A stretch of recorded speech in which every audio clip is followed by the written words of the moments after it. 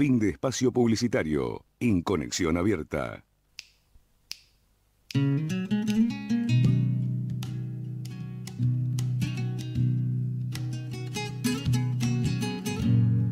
A partir de este momento, te llevamos a dar una vuelta al mundo. Un viaje al corazón del hombre. Nada como ir juntos a la par. Mil caminos desandar. El honor no lo perdí. Ese héroe que hay en mí. Nada como ir juntos a la par.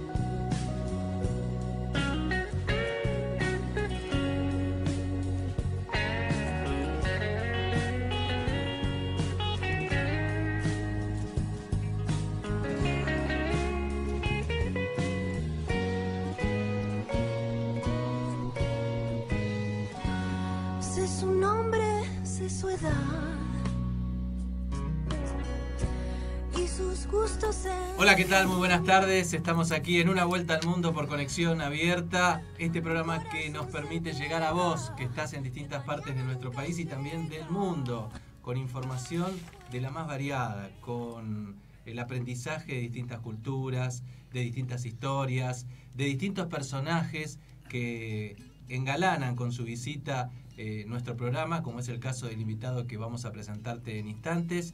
Pero lo cierto es que estamos una vez más aquí para acompañarte en este programa, además que tiene la fortuna de poder llegar no solo a personas que están cerca de la Argentina, sino que también llega a personas que están muy lejos de nuestro país y que se sienten cerca y que nos hacen conocer además su satisfacción y sus ganas de seguir acompañándonos a través de las redes sociales. Muy buenas tardes, Víctor. Hola ¿Cómo Héctor, estás? ¿cómo te va? Mi querido amigo Víctor Chaparelli. Bueno, ese es el, el premio del, del programa es estar entre dos amigos haciéndolo, ¿no? Eh, hoy voy a ser espectador porque el tema que vamos a tocar hoy con el amigo, yo quiero ser espectador, no quiero interrumpir. Voy a interrumpir solamente para dar cuatro mensajes. Por favor, Cuatro saludos. adelante, adelante. Verónica Zucchiati, un gran saludo para vos. Verónica Salazar, que posiblemente la tengamos el domingo que viene en el programa, una gran eh, maratón, maratonista, Ma- maratonista. eh, en Neuquén.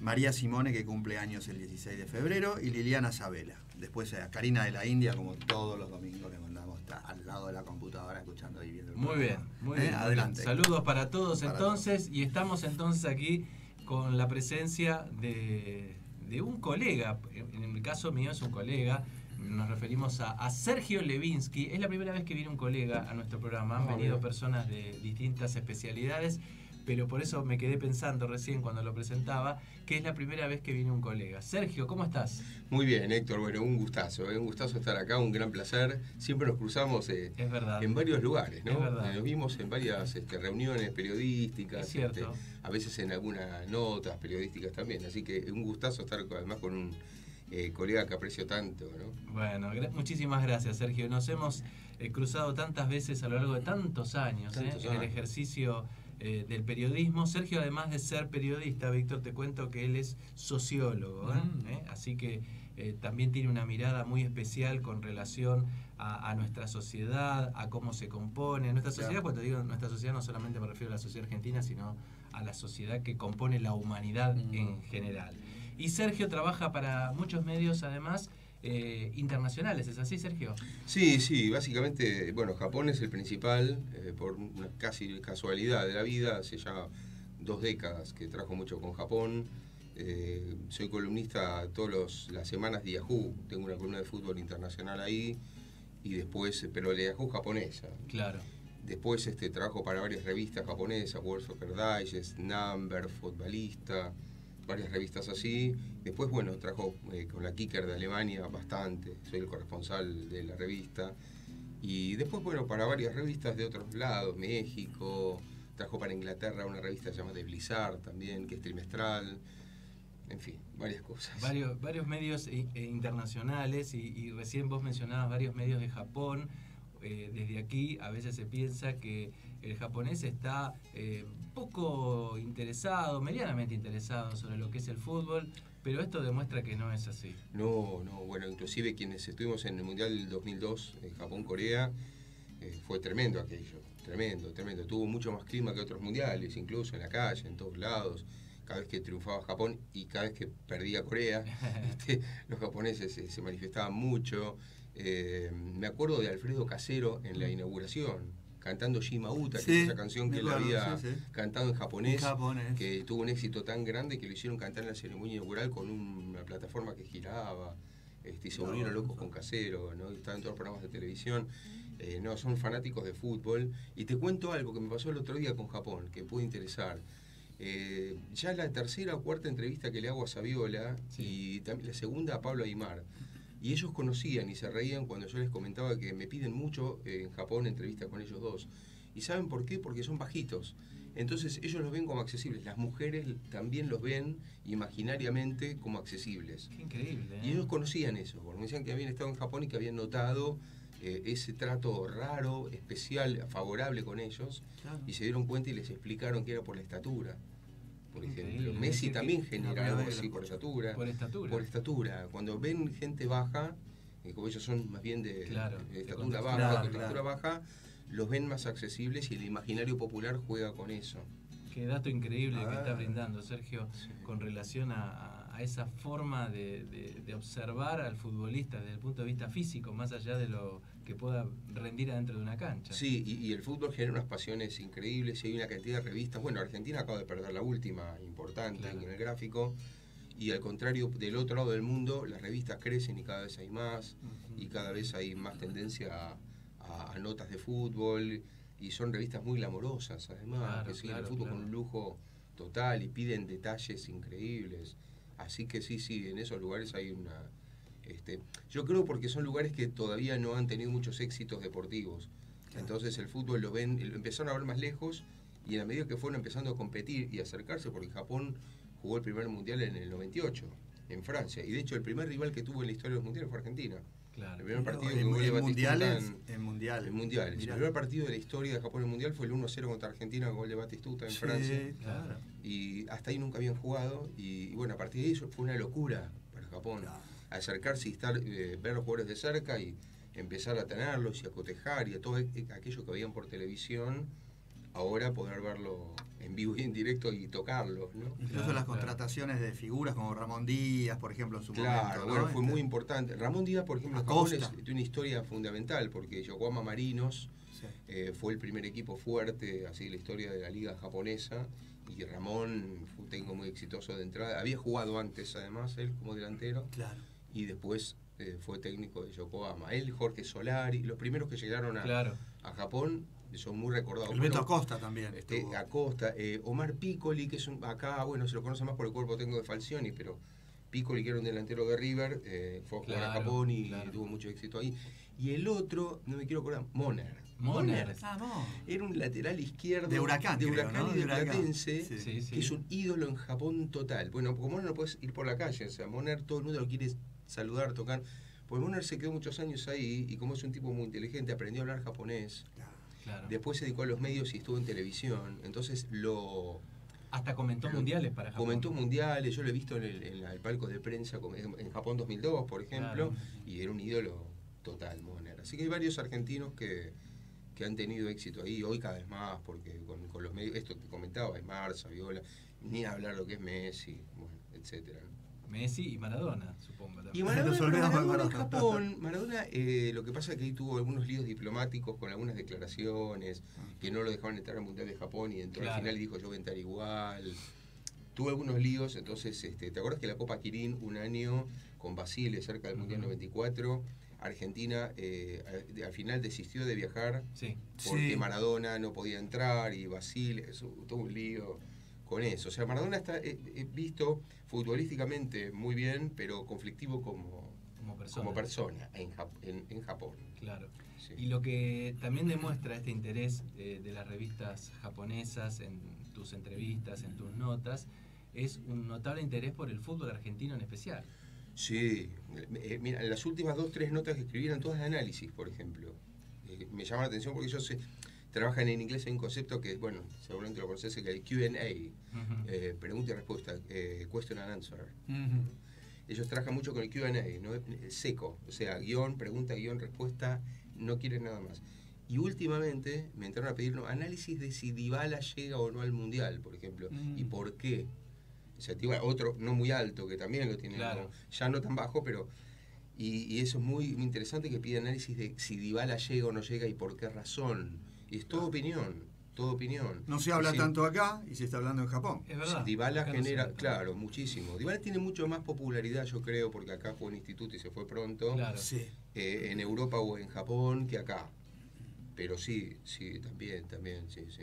Ese tipo de cosas también pasan, ¿no? Hay cada vez un, un interés mayor por lo táctico Claro. en Japón, de conceptos. Hay, de, de hecho, estudiosos de la táctica muy importantes, hay historiadores del fútbol ahora muy importantes. Yo conozco a uno que se llama Takeo Goto, es un señor de unos 60 años, un gran historiador del fútbol, de los mundiales, por ejemplo. O sea, hay gente, ahora se diversificó y hay tacticistas, eh, Claro, claro. hay gente que se dedica a historia. Sí, ¿Cuántos sí, equipos, Sergio, en la Liga de Japón? Yo creo que la Liga de Japón debe tener 16, Ah. más o menos.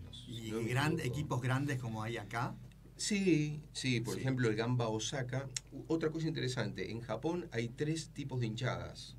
A ver eso. Hay una hinchada que es la hinchada que canta canciones italianas, Gamba Osaka, canta todas canciones con el- las mismas que se cantan en el calcio. Ajá. En Gamba Osaka Sí, el estilo es el estilo italiano.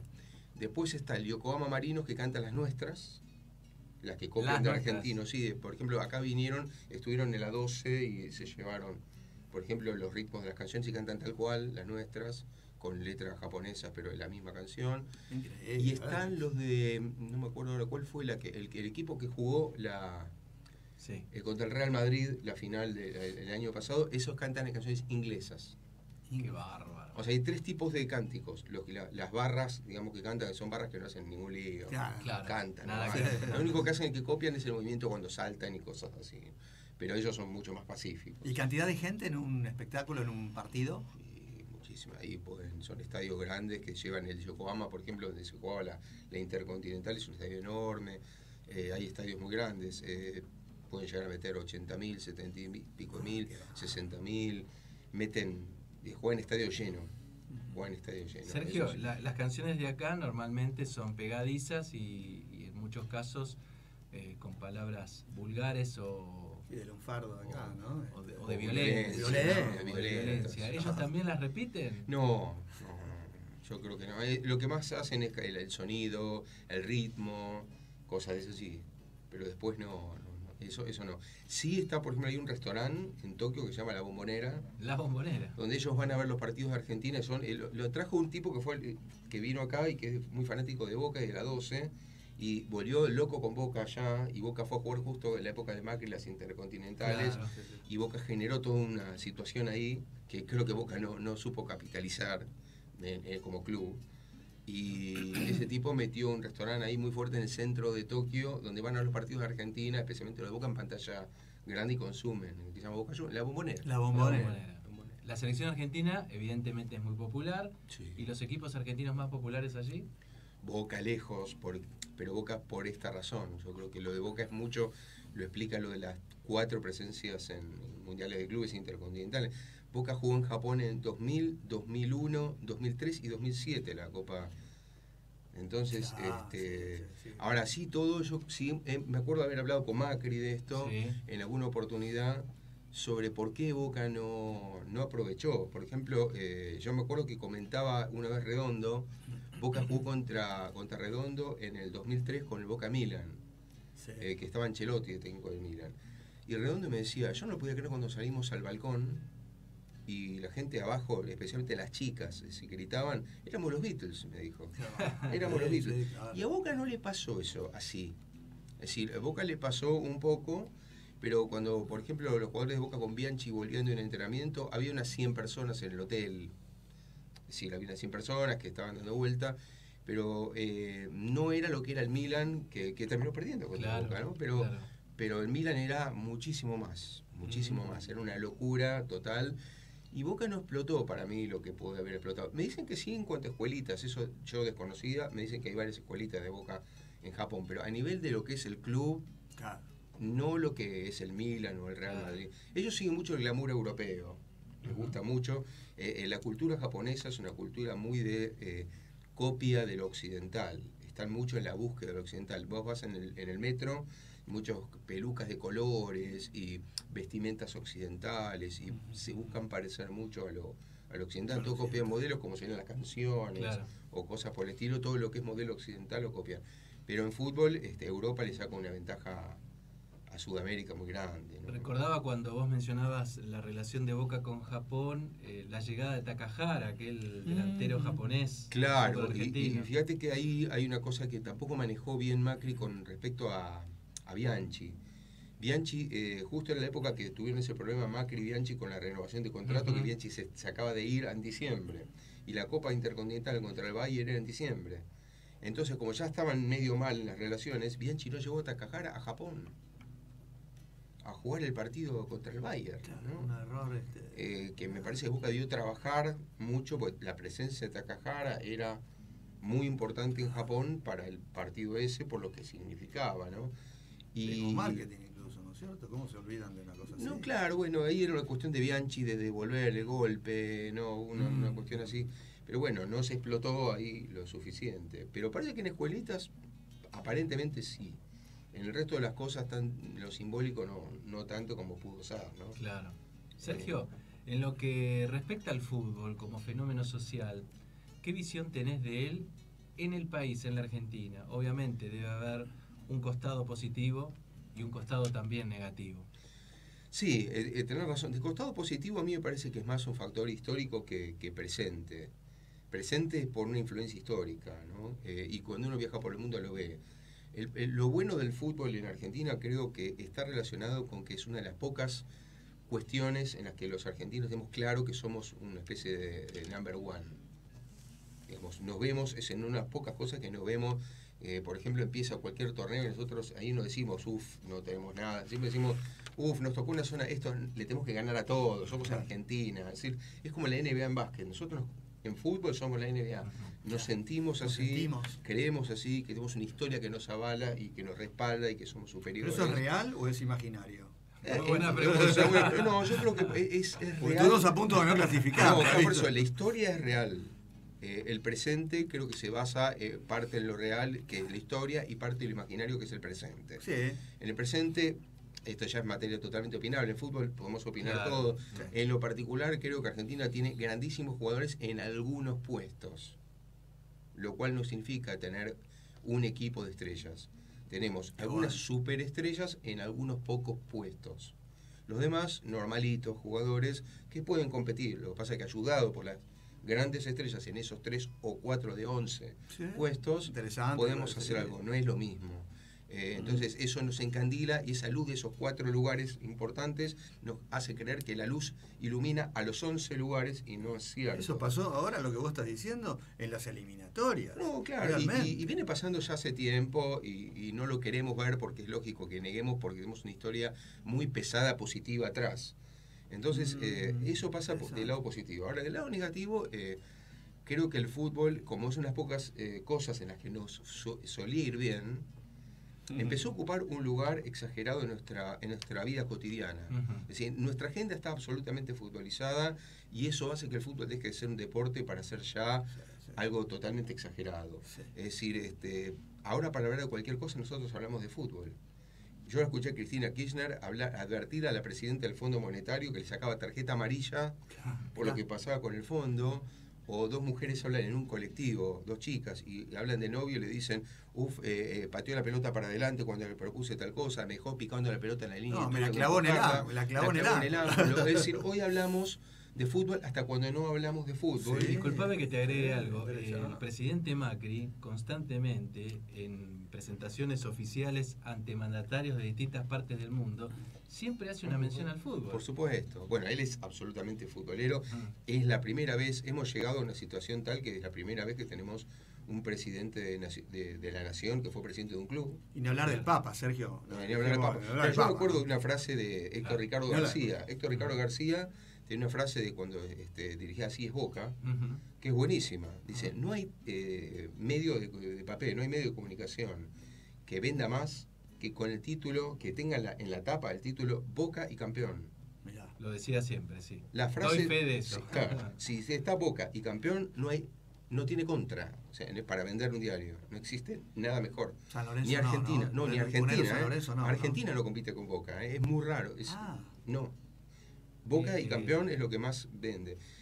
Pero eh, porque nosotros eh, estamos muy futbolizados en el día a día. Pero eso lleva a, a situaciones como que, bueno, las distintas mafias que existen en Argentina también llegaron al fútbol, se enquistaron con el fútbol, el poder político no se mete con el fútbol, se mete con cualquier cosa menos con el fútbol. con el fútbol. En la época del 2001 no había agua en la uva, pero este, y en Racing tampoco, y decidieron no cortarle a Racing Mm. antes que la uva. Es decir, ar- siempre fue así. El, el fútbol eh, está demasiado metido en los argentinos y ya genera situaciones exageradas y ya eh, eh, se hace incontrolable. Cuando esto pasa es absolutamente incontrolable. Y creo que son los mayores problemas que hay. Porque como somos naturalmente desconfiados, además, Claro. nosotros vivimos pensando que nos perjudican. Eh, yo tengo un libro que se llama AFA, El fútbol pasa, los negocios quedan, que es el Sí. último. ¿Cómo es, ¿Cómo es el título? AFA, El fútbol pasa, los negocios, Negocios quedan quedan. donde planteo que la sociedad le endilga a los dirigentes la corrupción, pero la sociedad se la pasa diciendo cada hincha de cada club, que más o menos está metido en el fútbol, primero te dices que hay que tener presencia en AFA. ¿Qué significa hay que tener presencia en AFA? Que hay que estar encima de los que deciden las cosas porque nos van a perjudicar Y nosotros tenemos que influir para que perjudiquen a otros y beneficien a nosotros. Claro, Eso lo piensa claro. el de abajo, no el dirigente. Con lo cual, ¿por qué el dirigente debería pensar distinto que el tipo de abajo? El de abajo parte de esa idea y a Cantero, que era, por ejemplo, el presidente independiente, que era un tipo honesto, se la pasaban insultándolo por diciendo, vos con esta ingenuidad nos están pasando por arriba porque el AFA no te Y metes. así le fue. Es decir, el tipo de abajo en realidad pretende cierta corrupción Claro. o es proclive a tener una, una visión bastante laxa de las cosas. Entonces, ¿por qué le pedimos al dirigente interesante. sí. que haga algo Oh, distinto a nosotros si el tipo en realidad nació de nuestra misma base, sí. viene de nuestra misma sociedad y le pedimos que él sea distinto a nosotros? ¿Por qué razón sería distinto si todos nos formamos igual y nosotros de abajo le pedimos sin tener poder lo mismo a él? Es lo mismo que en la política. Es, Es lo decir, mismo que en la Los política. dirigentes políticos salen de esta sociedad, no es que los traen de otro planeta Claro, y los claro, instalan aquí, claro, salen de la misma sociedad. Bueno, a veces pareciera que los traen de otro planeta. ¿no? Eh, Pero en realidad No, pero en realidad están Sí, en este están en planeta este argentino. Claro, eh, y, y esto con el, el- el fútbol, por eso, esto por un lado, porque además creo que el fútbol a nivel general, en todo el siglo XX, es un fenómeno, para mí el más importante del siglo XX, el más importante, social, el más importante de todos los que existen en la humanidad. ¿Por qué razón? Porque el fútbol eh, se fue convirtiendo en la religión moderna. Si uno lo ve, la liturgia, es muy interesante, la liturgia, el levantar una copa como la Champions, la orejona, por ejemplo, Sí. es la misma liturgia que en la iglesia o en la comunidad judía cuando se levanta la, El la, la Torá o el El cáliz. es lo mismo que levantar la copa. Es la misma liturgia. Cuando la gente con unción canta y se, y se menea y canta las canciones la tribuna, es parecido a la liturgia de una religión. Los estadios son templos cerrados, Son grandes. templos cerrados. Pero es, le fue reemplazando. Muy interesante lo que Fue reemplazando. Entonces, imagínate en la Argentina con lo que el fútbol es para nosotros, sumado a ese factor que no es un factor argentino, sino mundial. Se transforma en algo incontrolable. ¿Me dejas hacerte una pregunta muy Sí. chiquitita, bajando de todos esos lugares? Porque la tengo acá. Dale. Para vos, Para mí. Eh, ¿pudo haber quedado afuera Argentina del Mundial? ¿Qué ¿Lo, sentido? ¿Lo decís desde lo deportivo o lo decís No. desde la idea de que... Desde lo huma- de- al- a Sergio Humano le pregunto, con todo lo que sabes de fútbol y todo, y con todo lo que estás contando, ¿pudo Mirá. haber quedado afuera Argentina? pudo haber quedado afuera, pero creo que eso era... Se tenían que concatenar 700 factores para quedar afuera. Y te explico por qué. Un el último partido. Claro, pero todo cuando se organiza algo, se organiza a partir del poder. Entonces, que Argentina jugara contra Ecuador la última fecha no era casual. No es casual tampoco. Ecuador eliminada y Argentina clasificada, vos fijate que los jugadores de Ecuador, los principales, los que juegan en Europa, se fueron de juerga la noche anterior o los días anteriores. Entonces la federación decidió suspenderlos y jugar con los pibes. Claro. Y arrancamos Argentina. perdiendo 1 a 0, aparte, Sí, ¿no? pero- Este, ¿no? bueno. No. Yo de- mirá, eh, en Ecuador hay muchas investigaciones de los periodistas ecuatorianos sobre lo que pasó ese este día. tema, sí. Lo que pasa es que como Ecuador ya estaba eliminada, es un tema secundario para el ecuatoriano, porque total estaba eliminado. Estaba eliminado. Pero hay muchas cosas. Yo pregunto, si una multinacional de, de la indumentaria deportiva, que no hace falta mencionar, Sí, sí, sí, sí. que es la que auspicia a Argentina, auspi- auspicia a Messi y auspicia a la FIFA, Argentina se iba a quedar afuera, en Por serio. eso te pregunto, ¿no? Por eso te No, pregunto. Creo que la Creo que pregunta no- no apuntaba a era- eso. Sí, ah, ah, desde, ese, desde ese lugar yo creo que era imposible. Imposible. Argentina iban a hacer todo lo posible para que se clasificara de cualquier manera. O de última se iban a agregar cuatro equipos más al Mundial. Hasta sé. iba a aparecer, no, yo pensaba, si, si matemáticamente se quedaba fuera por una cuestión de puntos, hasta a lo mejor Rusia mandaba un will card, estas investigaciones que se hacen, eh, estas invitaciones se hacen en el tenis, Claro. eh, como por excepción, por única vez, que Sí, sí. mandamos un will card. No Algo sé, iba a pasar. pero algo iba a pasar. Ahora, se le facilitó cuando Ecuador se queda fuera Claro, una fecha. antes. una fecha antes. Otra cosa que a mí me sorprende mucho, más allá de que elogio y me parece bárbaro lo que está haciendo el técnico de Brasil ahora con, con el equipo Tite, ¿no? Con, con Brasil. Brasil jugó a Chile a muerte, pero un partido eh, raramente que Sí, Brasil, una final, ¿eh? teniendo en cuenta que con el empate eh, perjudicaba a Argentina, jugó, pero arrasó a Chile completamente, ¿no? Es decir, a mí me parece que juegan demasiadas cuestiones. A la hora de la verdad, el poder se impone Sí. y juega su partido imperceptiblemente, pero juega su partido. Entonces, las grandes potencias no se quedan afuera, salvo que pase que no les interese, como el caso de Italia, por ejemplo, ahora que a mí me sorprendió mucho, sinceramente, que en el sorteo del repechaje le tocara a Suecia, Suecia. teniendo la chance de que le tocara a un equipo Sí, sí, Suecia era el peor y así terminó. Claro. Eso sí. Era un rival dificilísimo. Es el único caso que me sorprende, que Italia, con el poder que tiene, se haya quedado fuera, me sorprende. Pero habría que ver ahí, que yo no sé, las relaciones entre la Federación Italiana y la FIFA. Algo la pasó, UEFA, algo pudo haber pasado. Claro, no lo Algo sé. pudo haber pasado. Pero este, fue un caso bastante raro. ¿no? Fue un caso Eh, raro. de todos modos, Sergio, para nosotros también lo hemos hablado aquí varias veces. El resultado de ese partido, no porque Argentina no le pudiera ganar a Ecuador, No, el contexto, el análisis profundo de la situación deja muchas dudas con Sí, relación sí. a, a cómo se conformó ese resultado tan holgado ese día. Y de la manera que sucedió. La manera que sucedió con un equipo ecuatoriano muy tibio, que además no había jugado junto casi nunca, porque era un equipo de futbolistas jóvenes y locales. Más allá de que Messi, no lo saco de cualquier discusión porque es brillantísimo Sí, sí. y los goles fueron hermosos y el tipo es un genio. eh, creo que lo excede a él esto. Es una cosa, está muy arriba de él, muy arriba. Él No tiene, no digo que ni noción, pero me parece que está muy lejos de esas cosas, de esas pequeñeces de acá. Cuando él está en Barcelona y juega ahí.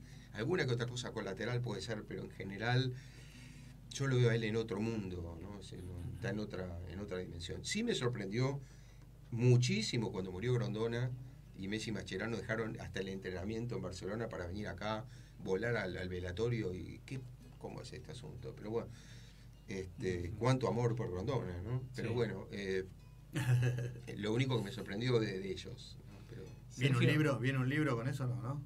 no, no, no. ¿No? No, de eso no. Lo que sí, tal vez, este, lo que quiere el editor es reforzar el de AFA este año con lo último que pasó, porque el libro de AFA se detiene cuando Chiquitapia asume. O sea, no hay nada de Tapia en adelante porque justo paré cuando asumía él. Asumía Tapia. Y hay, es casi otro libro de que Tapia asumió. Eh, Sergio, eh, cuando vos haces el análisis de- del fútbol, eh, también está tu visión como sociólogo, que es muy importante en esto. De alguna manera recién desmenuzábamos esto, que Sí. para el argentino el fútbol es vida o muerte, triunfo o fracaso, no se mide como si fuera un juego. Recuerdo en una oportunidad en la víspera de un superclásico, un nene de nueve años en la cancha de River se acercó después de un entrenamiento al Toto Berizo y le dijo, eh, Toto, el domingo hay que matar a los bosteros. Berizo lo mira al nene y le contesta, no, nene, estás equivocado. Nosotros vamos a jugar el domingo nada más que un partido. Un partido de no hay que matar a nadie. Qué interesante. Qué. Una Muy interesante, gran reflexión de Berizo. Toto Berizzo, sí. Sí, eh, sí. Muy interesante. Fíjate que a veces los protagonistas están hasta muchas veces por arriba de la propia gente. Y tiene que andar corrigiendo eh, a veces a la gente y a veces hasta a, a colegas periodistas en algunas preguntas, que, que es tristísimo. Es cierto, Tristísimo. es cierto. En el pasado eh, me acuerdo que siempre había esa burla a que los protagonistas hablaban mal y que los periodistas estaban a un nivel intelectual mucho más arriba. Sí. Hoy a veces Es al el revés. protagonista de la conferencia de prensa corrige a la pregunta o dice, pero esto que estás preguntando está, es incorrecto. Sí, o, sí, no, corresponde. eh, está revés. pasando mucho. Eh, y, y me acuerdo de un, este, un partido en el 94, Boca River en la cancha de Boca, que ganó River 2 a 0. que después hubo una matanza de, de dos hinchas de River. Sí. Y que en el noticiero de televisión del, del día siguiente, haciendo notas por la cancha de Boca, vecinos de la Boca hubo uno que dijo, bueno, salimos 2 a 2.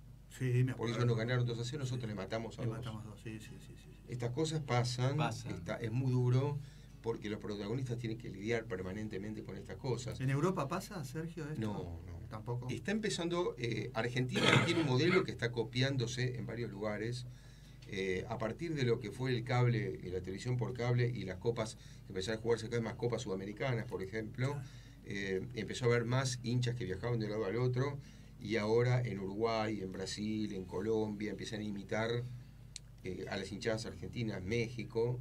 Eh, en España em- empieza a ser preocupante que empieza a subir la- el nivel de violencia. El otro día Valencia-Barcelona tiene una piedra al, al bus del Barça, en Valencia, por ejemplo, cosa que en España eso era... No sucedía. Absolutamente común, imposible. Mm. Pero me parece que está lejos todavía de lo que era nuestro. ¿no?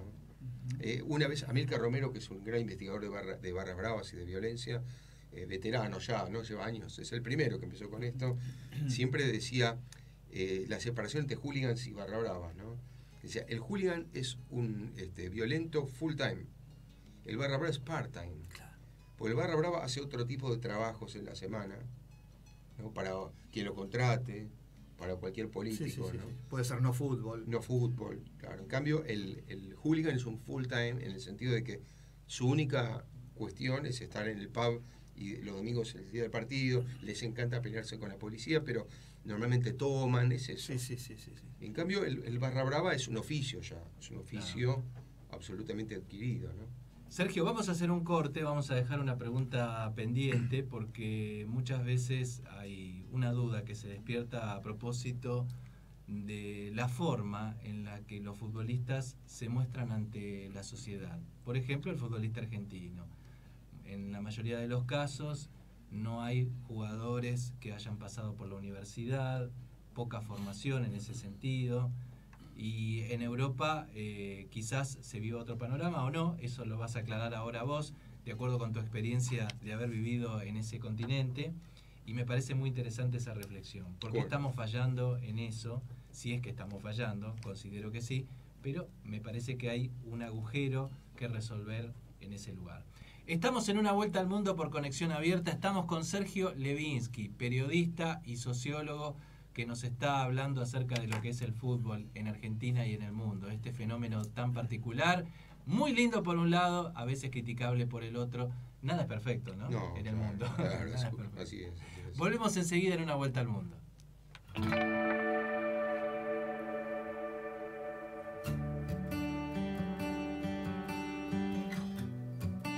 Estás escuchando Una Vuelta al Mundo.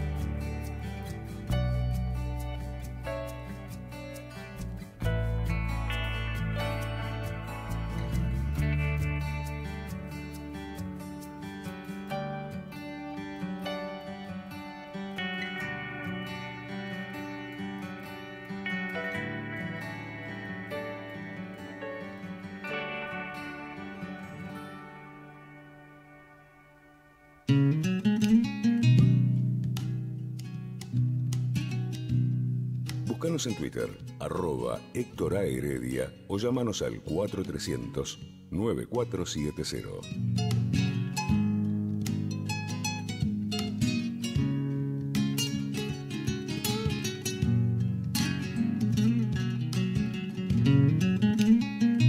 Cultura, educación, arte, deporte, turismo, salud, en una vuelta al mundo.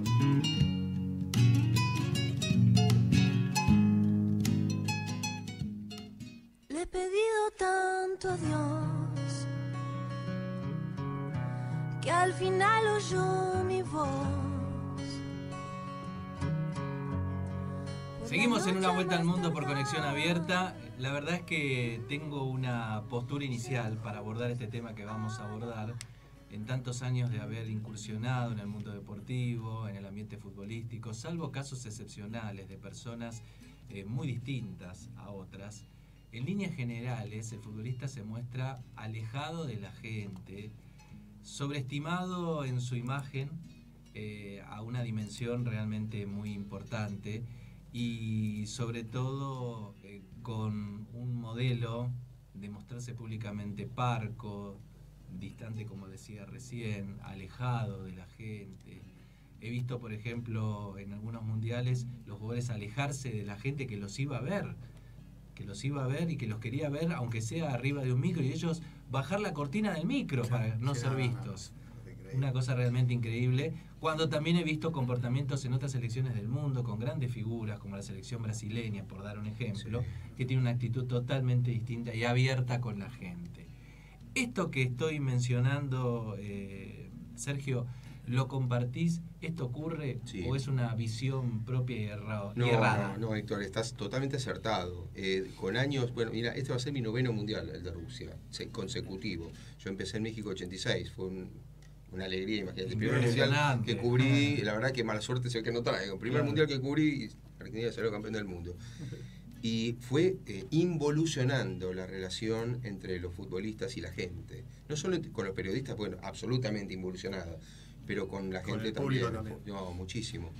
Eh, y, y creo que eso tiene una razón de ser. Me parece que el futbolista está cada vez más rodeado de negocios, de agentes, de gente con maletines y con eh, eh, el pelo con gomi- engominado, anteojos oscuros. Eh, cada vez hay más cosas que ocultar. Cada vez se habla más tapándose la boca Sí. Para que no se. Para que no se sepa ni siquiera que diga fue córner o no. Si se tapa la boca para decir Increíble. para Ah, que no, no, se no. eh, eh, es un símbolo que se tape la boca Sí, para que nadie sepa lo que quieren decir. Es un símbolo muy A mí me importante. produce tanto, Símbolo- tan- tanto claro, hay- malestar, hay mucho ¿no? que ocultar, por un lado, y por otro lado hay poco para decir, porque son eh, futbolistas que con las redes sociales y todo lo demás cada vez leen menos, se instruyen menos, saben menos. Te cuento el caso de un colega de- del diario El Mundo de Madrid, yo trabajé varios años ahí, Orfeo Suárez, gran amigo. Este, Orfeo Suárez eh, consiguió una entrevista en el verano español con un futbolista argentino de primer nivel, de primerísimo nivel, eh, un día entero en la casa de él. Entonces estuvo todo el día, imagínate, una nota para el diario, todo el día en la casa con él y con su familia. Y me dijo en una comida que hicimos pocos días después, no le saqué casi nada a tu, tu compatriota, me dijo. No hubo nada para escribir sobre él. O sea, no tiene nada para decir. Entonces, entre que no tiene nada para decir, entre que los agentes le dicen de esto no hables, de esto no se puede, más lo que él intuye que no se puede, más lo que privadamente de su familia no quiere contar, no tiene nada para decir, entonces viene huyendo de todo, huyendo de los periodistas, huyendo de la gente, huyendo de todo, eh, todo les viene mal.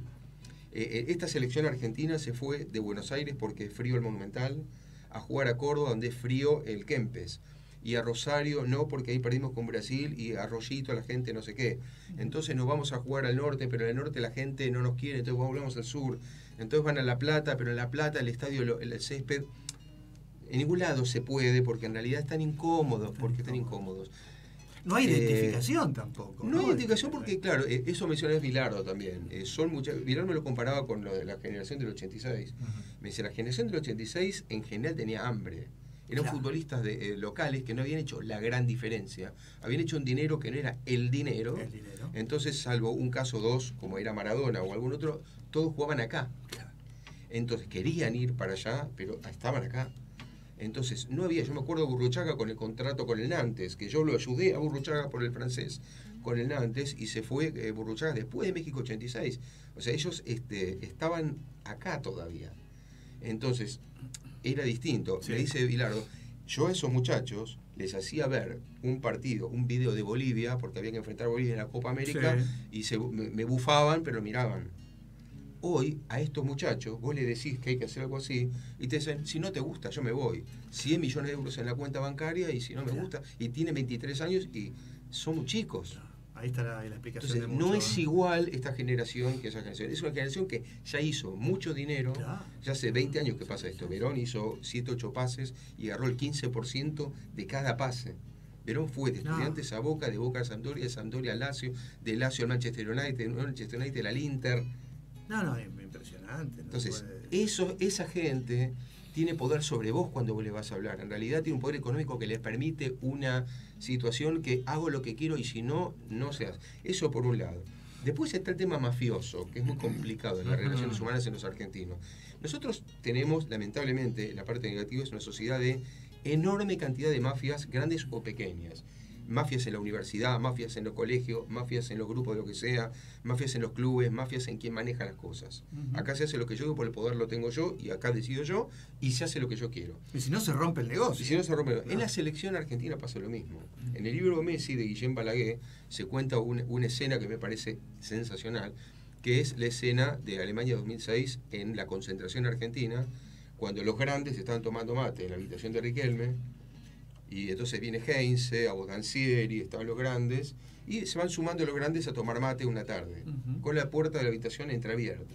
Entonces se van sumando y se ve que un rumor entre ellos, mira, están tomando mate en la habitación tal, y Messi con 18 años y el pelo larguito, recién convocado, se suma. Entonces están medio riéndose y Messi se tira a una de las camas a escuchar. Y hasta que están tomando mate, y Riquelme lo ve a Messi y le dice, ¿y vos qué haces acá? Claro. Y Messi lo mira y dice, no sé, está la puerta abierta, están todos ahí. No, pibe, rajada acá, es decir, esto no. Y Messi se fue mal, caí bajo. Ahora, vos pensá, eso era el Messi 18. Cuando pasaron 10 años y Messi es el capitán, ¿por qué Messi no va a repetir el procedimiento a su manera, con su carácter, que no es el de Sí, lo va a desplazar de otra y forma, decir, pero- acá los jugadores que vienen Pasan, por mí Pasan para por- decidir, porque yo me banqué el derecho de piso de Riquelme y de Ayala y de Abondancieri y ahora me toca a mí. It's my time. Es mi tiempo. Entonces ahora, y la diferencia es que Messi no dice así como Riquelme, no es así, es distinto, entonces eh, Messi es un líder silencioso, Silencioso, sí, sí, sí. en el que, bueno, pero anda a llamar a un jugador de selección que no tenga el consenso. Mirá Icardi. Mirá, Tevez. Anda a llamar. Muchos otros. Un jugador que no sea del consenso general puede llegar a venir. Martino se animó con Tevez, lo citó. ¿Y cuánto duró? ¿Cuánto duró? Está bien, fue, pero yo me acuerdo que le preguntamos a Martino, eh, ahí en Inglaterra, cuando fue el partido, yo estuve en el, el de Manchester contra Portugal, que estaba Martino y estaba Tevez. Y le preguntamos a Martino, y, y- pero convocaste a Tevez, y ¿qué va a pasar? Y él dijo una respuesta corriente, está bien, él dijo, yo lo convoqué, después las relaciones humanas, ahora yo convocar, a mí nadie me va a decir a quién convoca. No, no, está bien, pero después te la regalo. Después vos tenés que cotejar con lo que pasa ahí. Y bueno, naturalmente se dio lo que él dijo, naturalmente se dio, y lo que se dio es que no pudo aguantar mucho esa situación. Para que no ocurriera eso que vos decís con relación a que Messi repitiera los errores de, de Riquelme, tiene que haber algo que, que no se compra, que tiene que ver con valores, con formación, para tener una respuesta totalmente distinta y más elevada que la que tuvo otra persona que se equivocó. Claro. Es decir, para no repetir el mismo criterio mafioso o el mismo criterio criticable de, de la otra persona. Lo que pasa es que eso, eso pasa para mí por una cuestión de autenticidad. Nosotros que venimos, bueno, yo estoy por cumplir 55 años, ¿no? Entonces, claro, yo pertenezco en realidad al periodismo que empezó con la Lexicon 80, con la máquina de escribir, tres copias de carbónico y los cables que venían en papel y los cortaban en, en DIN. Sí, yo también. Y ese- no, entonces, claro, eh, yo hablaba con Maradona, este, mano a mano con un grabador, y había tres personas al lado mío, y nada más. Entonces se podía hablar, o hablabas con Bocini en un partido de Liga Argentina, y Bocini te decía, ah, ¿sabes qué? Eh, Me estoy cambiando y me espera mi mujer. Anotá el teléfono de casa, porque no había ni celular. Entonces decía, sí, sí, anotá el teléfono de casa. Y vos también era común anotar el teléfono de casa, entonces llamame desde el lunes.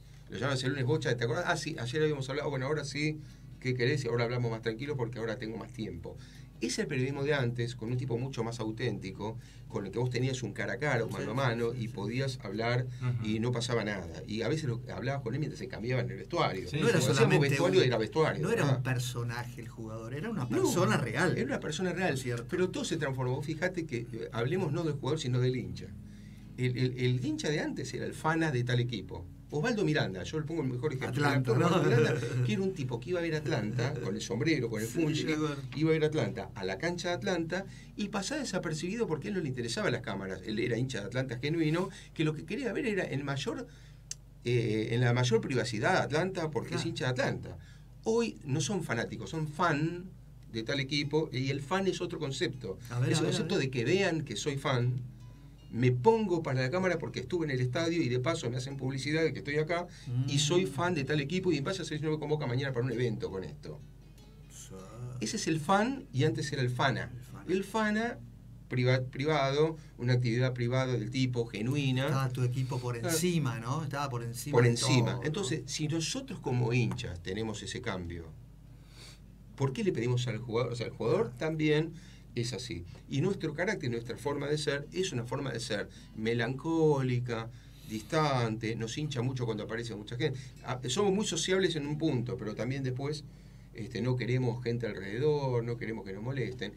Y el jugador europeo, el jugador argentino que está en Europa, se acostumbró mucho a que no lo molestan en la semana. A que la gente no lo molesta en los restaurantes, no lo molesta en su casa, no lo molesta haciendo la compra en un shopping, no lo molestan. Entonces, ese tipo no quiere esas molestias alrededor, no quiere. Pero se transformó en algo absolutamente distante. Esto que decías vos, yo lo he visto. Buses eh, con la cortina cerrada de la ventanilla, no le- moviendo la mano para saludar a gente en Córdoba, en Mendoza, en Tucumán, que lleva horas, Y horas esperando, esperando. y que por única vez, a lo mejor la selección en 10 años va, va ahí. Y Déjame no una pequeña percepción personal de lo que vos decís. Yo observé, Héctor, nunca te lo comenté. En el campeonato local, yo veo cuando hay un gol de un equipo que el jugador se está dirigiendo a su público. Sí. Observa en la Sí, sí. selección, cuando hay un gol de la selección, lo manifiestan el, el- el- El grupo. El grupo. El grupo. Es ante ellos, no va hacia la gente. Claro. No, no va el, el Pero ¿sabes por saludo a la gente. Eso- un poco lo que vos decís. A mí me parece muy importante, yo me lo pregunté una vez y lo escribí. ¿Qué- Es muy interesante esta pregunta que le haría a, a- a- a la selección. ¿Qué es para ellos Argentina como concepto? ¿Qué es para un jugador de primer nivel que está en la selección la palabra Y Argentina? el trampolín a donde, a ¿Y donde sabes lo que es. Argentina? Para mí ellos Argentina es su grupo, su entorno, digamos, su entorno Familia. familiar, grupal, su entorno de plantel, el masajista, el, kinesiólogo, su amigo, el técnico, el, el- el chiquitapia, eh, el entorno ese, es, eh, y sus esposas, sus novias, Sí, sus sí. hijos. Argentina es eso, que no está mal, pero es un concepto bastante chico. Es decir, Sí. Argentina no es el tucumano que está saludando al bus. Claro. Es un, ese se molesta, ese es un hincha, Claro. que está ahí encima, quieren que salude, llevo acá, Ah, y déjeme descansar porque Sí, estoy con la mm. PC y con la familia que está en Londres, se quedó, y yo estoy con mi hijita ahí, que está, y estos me están hinchando ahí, estos pesados que están esperando, bueno, a ver si salimos un minuto, pero si salgo después me van a estar pidiendo cosas. Es así. Ese, ¿Qué es Argentina para el tipo? Es bastante, eh, digamos, es un concepto... Este, Bueno, yo después me tengo que poner esa camiseta, me la tengo que poner y salir a jugar. Claro, pero, no, pero él la- se la pone para mí pensando que la camiseta es mucho más eso, Que, lo- que otra Que- cosa. Lo- me parece que lo tiene más, no, no lo tiene tan. Habrá algún jugador, probablemente de excepción, siempre hay Sí, alguno que tiene a- algún concepto mayor. Pero eh, vos lo ves también con, con los periodistas. eh, con los periodistas ellos tienen muchos problemas y no lo ves en otros países, no lo ves. Lo que A- vos comentabas de Brasil, eh, eh, con Brasil, este, bueno, también pasa que, eh, yo me acuerdo, Rodrigo Paiva, que era el jefe de prensa de Brasil, habla nueve idiomas nueve idiomas y Brasil es país limítrofe nuestro, Sí. no está en Europa, No. nueve idiomas. Los jugadores de Brasil han ganado cosas y todos hablan todos los días, Sí, tiene Sí. otra actitud totalmente distinta. todos los días hablan. Xavi Hernández ha ganado cosas en el Barcelona, ¿no? Ha ganado un título mundial con España y un mundial juvenil en el que fue el mejor jugador del torneo. El torneo. Xavi Hernández. Y vos hablás con Xavi Hernández, yo argentino, voy al vestuario en el Camp Nou del Barça. Digo, Xavi, un minuto para una radio. Bueno, máquina, un minuto, por favor, nada más. Máquina. Bueno, un minuto. Él habla así, un minuto, máquina, bueno, un minuto, un minuto. Un minuto. Xavi habla un un minuto. Pero Xavi habla con un argentino, con un chileno, escucha el, el acento castellano y ya le simpatiza y lo siente cercano. Claro, claro. Fernando Torres, el niño Torres, lo mismo pasa. Xavi Alonso, espectacular lo que hablaba. Piqué, yo he hablado en la Copa Confederaciones de Brasil 2013. Piqué habla con todo el mundo. Los españoles han ganado un título mundial y hablan con todo el mundo. Y dos Eurocopas seguidas y hablan con todo el mundo. ¿Y en cuánto incide eso, Sergio, que vos estás describiendo, el hecho de que hayan sido formados en países del primer mundo y con otro, digamos, otro aporte de la educación totalmente distinto? Mucho, mucho, porque yo creo que ellos se, se fueron acostumbrando, eh, toman lo que quieren además de eso, porque ellos se van acostumbrando a ese mundo, eh, que es un mundo muy ordenado, un mundo muy agendado, donde todo está muy claro, donde hay programas de acción para todo, y llegan acá y me parece que ven esto más pueblerino, lo ven más anárquico, más desorganizado. Es cierto eso también, ¿eh? eso también juega. Es decir, eh, a mí me tocó otra anécdota que te puedo contar con Guillén Balaguer en una Argentina-Venezuela en la cancha de River, en la clasificación para el Mundial, y, sal- y salieron los jugadores eh, en la cancha de River, donde sale que hay un vestuario que está protegido por unas vallas, y en esa valla había chicas quinceañeras sentadas al borde de ahí. Los periodistas no podían pasar, y chicas adolescentes que no sé quién las hizo pasar. Claro, claro. Todo el mundo un griterío cada vez que salía alguien. El jugador no está acostumbrado a eso. Entonces, por ejemplo, salió Mascherano, que jugó mucho en la Premier League, y es muy amigo de Guillén Balaguer. Y Guillén Balaguer es un tipo muy inteligente, entre el griterío lo quiso saludar, y como sabía que no iba a ser escuchado, ¿sabes qué tiene que decir? Le dijo Liverpool. Claro. Entonces Mascherano dijo Liverpool, ¿quién grita Liverpool en Argentina, Venezuela? Entonces miró y dijo, lo miró, me miró, que, que sabe que estaba viviendo en Barcelona, y me dijo, ¿y ustedes qué hacen acá? Entonces yo le dije, no, no, es que vino a acompañar a Guillén porque vino, no, no conocía la cancha de River. Dice, no tienen que venir acá, dijo. Ah, Como diciendo, ustedes que están ¿Qué ahí, tienen que venir acá. Sí, pero me pareció espontáneo y me pareció que lo decía desde un punto de vista no negativo eh, con, con la gente, sino de hartazgo, de, Sí, de- sí, sí, sí. de si- situación de opresión. o sea que fue muy que- auténtico lo que Auténtico dijo, ¿no? porque él, bueno, en el momento de autenticidad, sin micrófono, sin nada, en el sentido que él me parece que lo dijo por, por comparación, por lo que él está acostumbrado. Porque otra cosa que también pasa con esto son las reglas de juego. Acá no hay una institución que marque reglas de juego.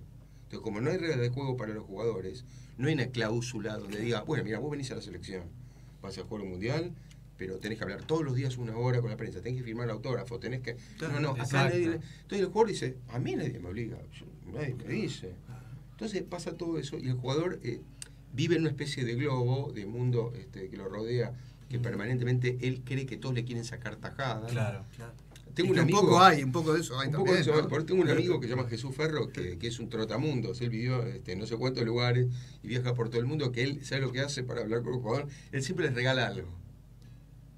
Aunque sea una- un póster de ellos, pero le regala. Me dice, ¿por qué? Porque nadie le regala. Ellos piensan que siempre les tienen quieren que sacar. regalar ellos. Entonces yo le, antes de hablar, le digo, mira, te traje este póster gráfico. me saco mi O- saco y te lo doy, ¿no? Claro, el tipo dice, alguien que me dio algo, porque en general Claro, sí, sí, me sí. quieren sacar, ¿no? Y así Es una buena entrada, es ¿no? una buena entrada. Dice, buena yo te doy a vos, como diciendo, eh, porque si no, para hablar con vos te doy algo primero. ¿entendés? Exacto. Qué interesante. Sergio, Qué bueno. nos quedan nada más que dos minutitos. Quería abordar un tema importante brevemente, Sí.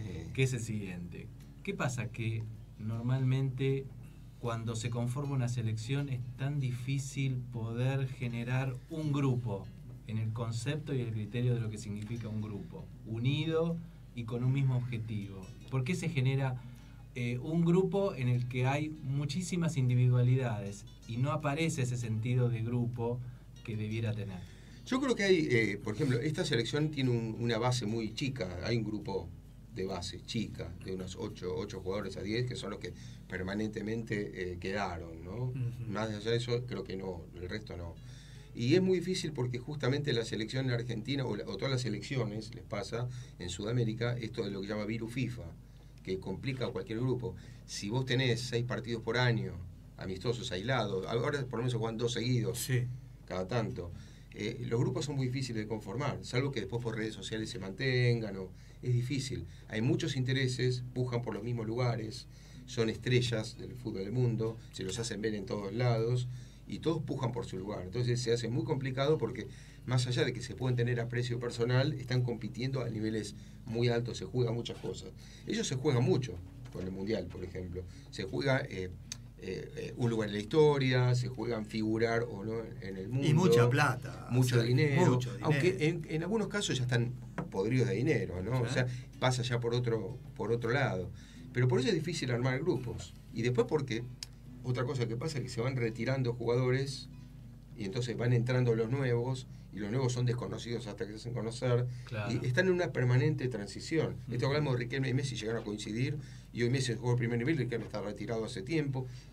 Esto hace que haya mucha eh, eh, eh, mucho movimiento eh, este, ahí, ¿no? El problema es el ego también, ¿no?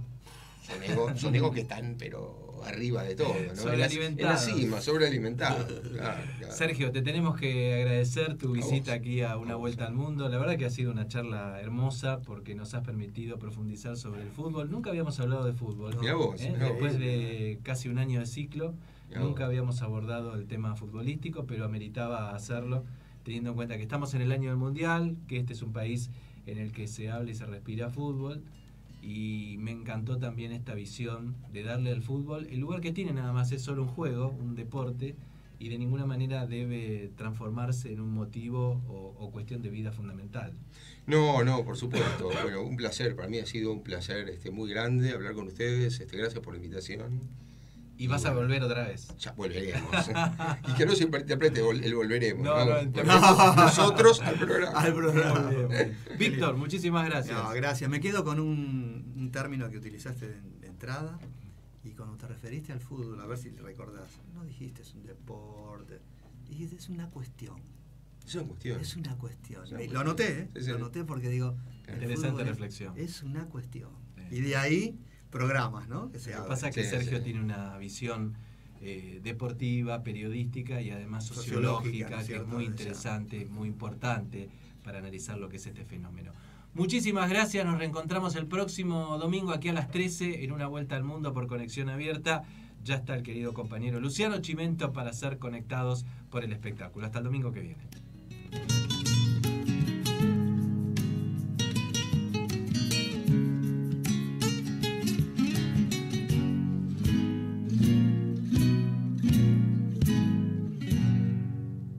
Comienzo de espacio publicitario en Conexión Abierta. Este medio está asociado a CADEMAD, Cámara Argentina de Medios Audiovisuales.